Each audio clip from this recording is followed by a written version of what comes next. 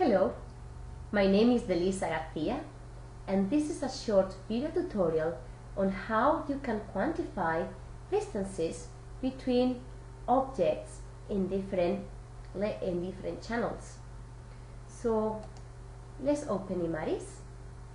Um, from the arena we can select an image of interest.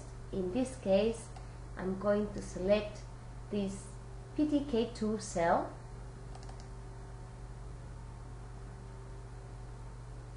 we have a 3D image with um, four different channels, a red channel for kinetochores, green channel for microtubules, blue channel for DNA staining, and gray channel for uh, denacting.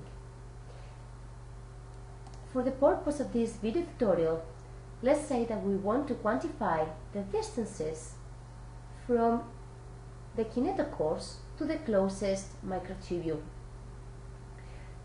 What we need to do first is to convert our data into a 32-bit data type. In order to do this, you can click in the More options on the right hand side of Imaris, select Edit, and scroll down until you find the option change data type. Now we can change our image from an 8-bit to a 32-bit float. Click OK. Alright, so now we have a 32-bit data set. The next thing that you need to do is to build is or is to segment the structures of interest. So let's start segmenting the microtubules. This is the surface that I built before. And uh, within the microtubule surface, we have different tabs. In this case, we can click in the Tool tab, which is the last one, and we can select the distance transformation function that we have in our menu.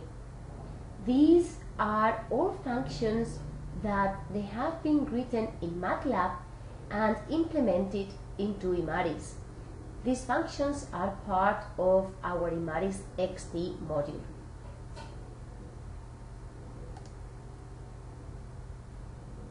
Once you click in distance transformation and the function starts, a new dialog window will appear from where we can select two options. Inside surface object, this will calculate the distances from the borders of the green surface to any other object contained within our surface of interest. The outside surface option will calculate the distances of any objects outside the surface object into the closest uh, boundaries of the surface or in this case the outside surface object function will calculate the distances of any, any kinetochore to the closest part of the microtubule. Click OK. Here we can see the progress bar. Once the function has finished, Imaris creates a new channel. This is the distance to microtubules channel and is not an intensity channel but a channel which contains distance information. Now what we need to do is to segment the kinetochores. For this I'm going to create spots. You could have also created a different surface